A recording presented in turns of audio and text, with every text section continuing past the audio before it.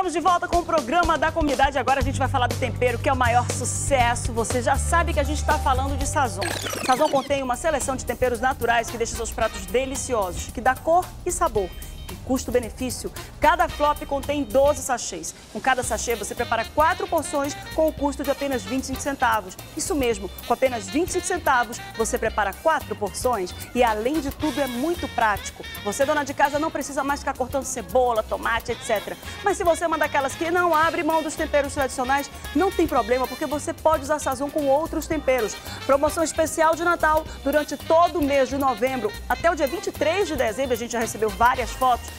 Sazon vai escolher duas fotos mais criativas. As duas mais criativas vão ganhar cada uma uma linda cesta natalina no valor de 500 reais. E para concorrer, basta enviar uma foto preparando um delicioso prato com produtos Sazon para o WhatsApp Sazon 991 27 0101 com o nome completo, endereço e telefone de contato.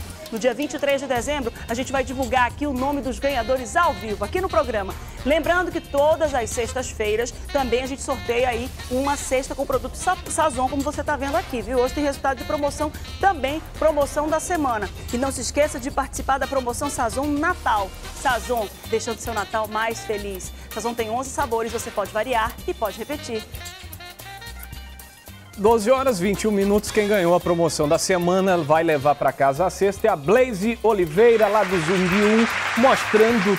Rapaz, a Blaze fez uma pose legal, hein, Blaze? Toda estilosa, temperando aquele feijão ali na panela. Que bacana! E ainda fez ali todo. todo é, deu, deu uma customizada ali no, no, avental, né? Que bacana, hein, Blaze? Parabéns, pode passar aqui para pegar o seu kit Sazon. Carlinhos gostou. 12 21 vamos em frente, vamos trazer destaque de polícia. Você que nos acompanha vai ter informações na tela do agora sobre a prisão de um homem suspeito de assalto. Ele praticava diversos assaltos em um veículo na zona norte de Manaus e quem traz os detalhes na tela do agora é a repórter Marquilze Pereira.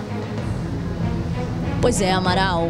Danilo Chaves Ortiz, de 21 anos, foi preso suspeito de cometer vários delitos, principalmente na zona norte de Manaus. Aqui ao meu lado está o delegado do 15º DIP. Delegado, como é que vocês chegaram até eles? Ele já vinha fazendo algumas vítimas, principalmente naquela área da cidade? De fato, já havia uma investigação acerca do veículo que estava sendo utilizado. Então, estávamos com a possibilidade de trabalharmos com as prisões cautelares ou esperar, ou esperar para que acontecesse alguma situação flagrancial. E veio ao encontro de acontecer na data de ontem uma situação onde foi possível que essa situação flagrancial ocorresse. Então diligenciamos e conseguimos encontrar o autor na posse do carro com vários objetos de delitos. Inclusive um deles tinha acabado de ocorrer na data, naquele, naquele exato momento. Então ele cometeu alguns assaltos no Nova Cidade, naquelas áreas? Sim, naquela região, na Zona Norte ali, alguns assaltos a transeúntes, né? E, e pessoas que ali passavam que, que as pessoas que porventura estiverem vendo a imagem dele agora podem fazer? Procurar a polícia?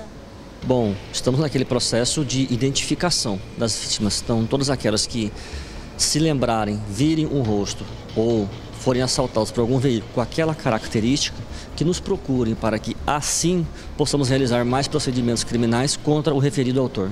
Obrigada pelas suas informações.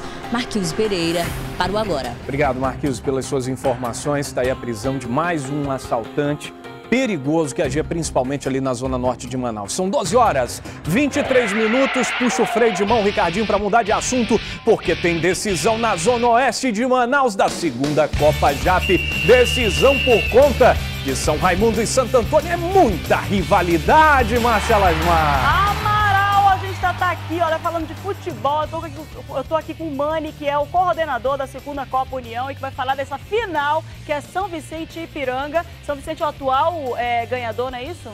São Vicente é o atual ganhador e vai passar o troféu. Não, né? Vai passar ou não? Não vai passar. Não vai passar. Olha, vai. O Ipiranga tá dizendo que vai. Como é que vai ser o horário? Como é que entra? É, boa tarde, Amaral. Boa tarde, boa tarde Márcia.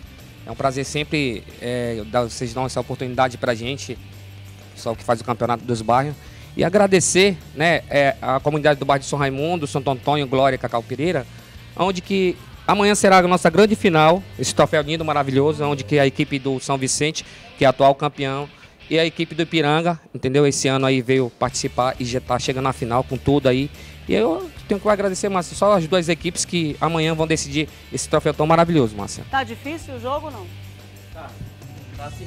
Tá um pouco difícil, mas São Vicente com certeza vai ser campeão dessa vez aí, como sempre, pé no chão e vamos lá, boa sorte a todos aí.